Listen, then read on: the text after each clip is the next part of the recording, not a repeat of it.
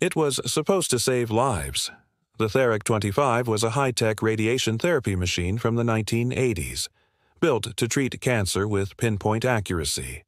But there was a bug, a glitch so hidden, so unpredictable, that the patients were being cooked from the inside. One woman screamed mid treatment, her skin melted. Another man died days later, his body full of radiation burns. And the worst part? The machine said everything was normal. Hospitals trusted the software. They didn't believe patients. Until six people died.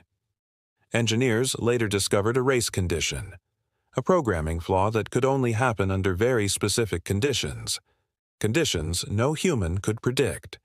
It was one of the first real world cases of code killing people. And today, we rely on millions of machines run by software we barely understand.